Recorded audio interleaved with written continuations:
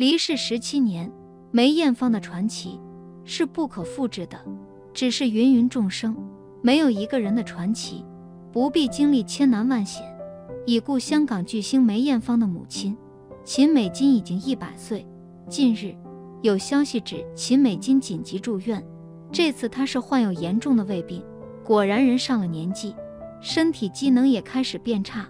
港媒致电秦美金问候，她在电话里说。少少胃痛，住了两天院。被问到病情是否严重，梅妈表示胃抽筋，以前都试过，医生说休息两日，要吃胃药。你们有心了。被问到是否有胃痛多年，秦美金说胃抽筋时不时都会有，这次很严重，要打针来松弛，痛得好辛苦才来住院。要是一点疼痛我也不会来，现在好了。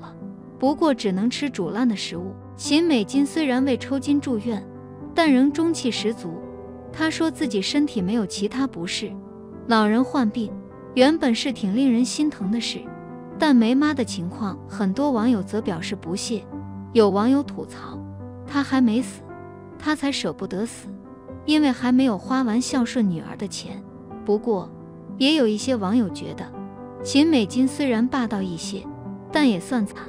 三个子女都患癌死了，死剩一个最没出息的。愿他不会再痛，身体无恙。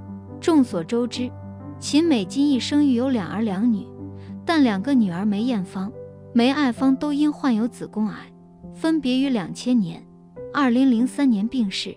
二零一五年，二儿子梅德明也患喉癌逝世。目前仅剩一个不务正业的大儿子梅启明。秦美金和梅启明在梅艳芳离世后，想方设法要拿到女儿的遗产，但梅艳芳的遗产并不是全部留给自己的亲人，还留给了一些给好朋友。另外，梅艳芳也没有一次性把遗产赠与家人，她害怕妈妈好赌，就找到信托机构，每月给秦美金几万块。但秦美金不甘心，总想尽快拿到女儿的遗产，数次为了争产走上法庭。早些年，秦美金和儿子还经常贴大字报举横幅，在香港的街头向市民诉苦。接受记者采访时也声泪俱下。他为了套现，还数次拍卖女儿的遗物。但是从去年起，梅妈的身体情况开始出现问题。去年三月，秦美金因心脏问题做手术，在医院住了整个月，晚上睡觉用暖水袋暖脚，又把双脚烫出了水泡。因为疫情原因，他坦言看医生时怕多细菌，不敢坐出租车。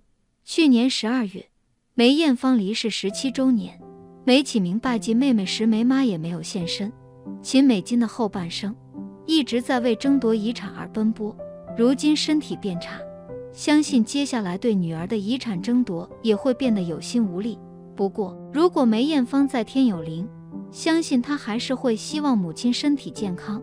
至于秦美金的种种过往，换位思考，她的三个子女相继离世，仅剩一个梅启明，秦美金自然也会想方设法为这个儿子铺好后路。秦美金因骨子里重男轻女的观念，早早将梅艳芳推向社会，在梅艳芳短暂且绚烂的四十年生命里，自然少不了梅母秦美金的参与。这位年事已高的女人，在女儿离世后。依然凭着争夺遗产一事占据头版头条，秦美金甚至发出早知女儿把遗产留给外人，当初就该狠心卖了她的狠话。虽是气话，但其实秦美金曾经的确有过这样的想法。秦美金并非土生土长的香港人，一九二三年，她出生在广州的一个贫困之家。七岁时，秦美金的父亲就去世了，由于家贫。秦家没钱给秦父办葬礼，秦美金因此被卖给后来的养父母。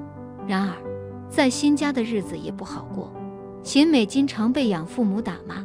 后来因为战乱，秦美金和养父母也走散了。之后的日子里，被一家寺庙收养的她，也总算安定了一段时间。姑娘长大了，总要嫁人的，何况秦美金从小就生活的不安定，结婚对她来说。是最好的归属。遇到梅艳芳的父亲，让从小不被疼爱的秦美金有了一个家。然而，前后生下三个孩子的秦美金，依然没能得到梅家人的认可。中国人一向讲究门当户对式的婚姻，出生贫寒且没有娘家人的秦美金，自然也难以飞上枝头当凤凰。不用说，梅艳芳父亲的家境比秦美金也好不了多少，没有好家世，成家后的也只能靠自己。毕竟那时的秦美金已经有了三个孩子，可能是听说香港机会多，急于挣钱的秦美金，在四十岁之时，第一次踏上香港的土地，而那时她和丈夫也失去了联系，不知丈夫是死是活的她。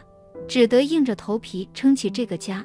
就在秦美金陷入万般艰难之时，发生了一件令她更加头疼的事儿，她又怀孕了。疲于奔波的秦美金，压根没觉察到自己已经是个有孕在身的人。作为一个独自带着三个孩子，在香港又无亲无故的高龄产妇，秦美金当年的处境可说是举步维艰。初到香港时，秦美金连租一间房的钱都没有，无奈之下，她只好先租下一个床位，一张小小的床，又怎么睡得下四个人呢？秦美金是这样安排的：两个孩子睡床头，另一个孩子睡床尾，她自己则搬了两张椅子拼起来，将床板搭在椅子上，这样才勉强有了栖息之地。后来，秦美金靠着过往学到的一些医术，在香港租了间房。开启了医馆，由于没有专业执照，得不到病人的信任，他只好让病人先治病，好了再收钱。这样的经营模式，导致秦美金的收入极不稳定，一家人的生活也是有了上顿没下顿。人到穷途末路时，良知兴许是不值一提的。为了生存，人性的恶往往在这个时候悄无声息地生长起来，拮据至此。秦美金也动过歪心思，她想着，干脆把即将出生的这个孩子卖给人贩子，这样一来，经济负担就少了许多。有了这样的念头过后，秦美金自己都感到吃惊。好在秦美金不是一个丧失良知的人，毕竟她是个女人，也成了母亲，十月怀胎的苦，只有自己清楚，怎么舍得将她丢弃？不久后，她的第四个孩子降生了。她怎么也没想到，曾经想要卖掉的这个孩子，日后成了叱咤歌坛的大姐级人物。没错，这个孩子就是梅艳芳。如此艰难的情形下，仍然没有放弃的小女儿，离世前却将价值不菲的房产赠与外人，也是让秦美金难以接受的事实。原生家庭对一个人的影响，是会代代相传的。即便秦美金留下了梅艳芳。但从她的自身经历来看，她的不幸也将加注在女儿身上。后来发生的事，恰恰证实了这一点。无论家境多贫寒，秦美金都会把念书的机会留给两个儿子。梅艳芳四岁时，就与姐姐梅爱芳四处登台演出，以此改善经济上的困境。不仅如此，姐妹俩唱歌赚的钱，也都如数上缴。直到后来。梅艳芳成了红得发紫的歌星，才渐渐有了自己的财务支配权。人这一生，只需遭遇两种境况，便可看清一个人，那就是落魄和富足。落魄时，留在身边的人，就算什么也不说，也是最值得你珍视的人；富足时，不断向你索取的人，就算再亲近，也是你应该远离的人。成了歌坛重量级人物的梅艳芳。依旧大大咧咧地生活着，她没有大明星的架子，更没有因此而忘本。相反，秦美金和他的两个儿子却膨胀了，过上衣食无忧的生活后，他们依旧不断向他索取。没了生活负担的秦美金迷上了赌博。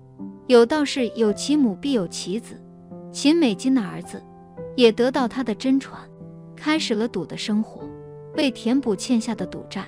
秦美金甚至伙同儿子一道骗取梅艳芳的钱，也许太容易得到的都不懂得珍惜。